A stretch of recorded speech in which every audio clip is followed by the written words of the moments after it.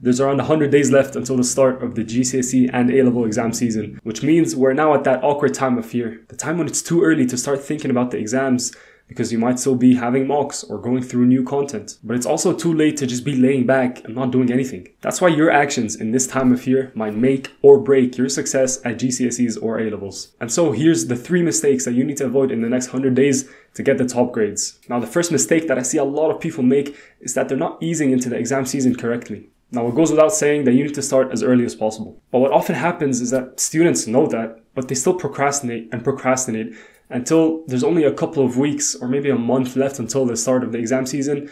And then they start panicking. So they put in 10 hours a day trying to make up for the procrastination. That's a recipe for disaster. That's like me going to the gym as a complete beginner and loading up the bench press with three plates on each side. What's gonna happen? I'm gonna embarrass myself. And another effect of this hasty behavior is that people jump right into studying without actually knowing how to study. It's funny, with basically everything we do, we first learn how to do it, and then we do it. That's just human nature. For example, before driving, someone takes driving lessons. Before swimming, they learn how to swim. They don't just jump into the deep end. But for some reason, when it comes to studying, we tend to just start without actually learning how to study. And so, what ends up happening is that we spend a lot of time revising in a very inefficient way just wasting that time, literally burning it. When in reality, if you just spend just a little bit of time learning how to revise before even revising, you're to make your revision so much more efficient that you're to get a return on your investment when it comes to that time because you'll be saving a lot of time studying in an effective way. Now, when I was in my GCSE and A-level years, it was quite hard. There wasn't really any resources that taught you how to study. There's just resources about the content itself. That's why I created the ultimate guide to acing your GCSEs and A-levels. If you want to skip the process of trying and failing and then trying and failing, especially because you only have 100 days left,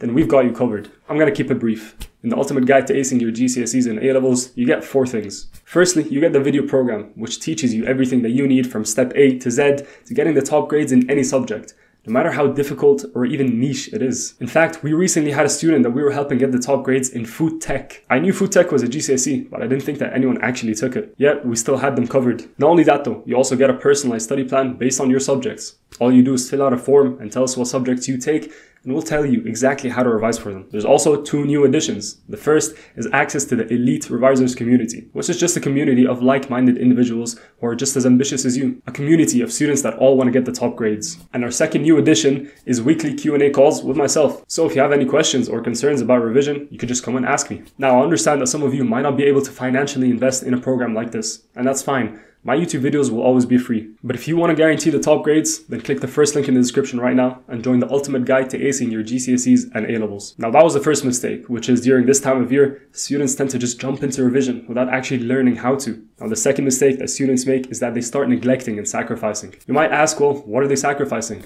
Well, there's three things. The first is that some people feel like they have to sacrifice some subjects over others. You might feel like when it comes to maths, then you're doing very well. You've gotten a couple of eights, maybe even a nine, but then when it comes to English, you're not doing as well. You can barely get sixes. And so logically, you decide to focus on English more than maths. Now, obviously, if you're struggling with a subject over another, you're going to spend more time with the subject that you're struggling with. That goes without saying. But a lot of students make the mistake of going to the extreme and completely neglecting subjects that they might feel confident with. Now, it's important that you have balance, because if you completely neglect a subject, if you go back to it in a couple of months and you've just forgotten everything, then guess what? Now you have another subject that you're struggling with. And that's not the only thing that students sacrifice. Another mistake I see people make is that they'll start sacrificing essential parts of revision. And the most common version of this is that students will start sacrificing flashcards. A lot of people look at flashcards as some sort of luxury that you don't necessarily need to do them, but if you do it, it would be better. That couldn't be further from the truth. We can split up learning into two different stages, inputting the content and then applying it. By inputting the content, I mean actually digesting and memorizing that information. And so if you're sacrificing flashcards, then you're either substituting flashcards with a passive form of revision,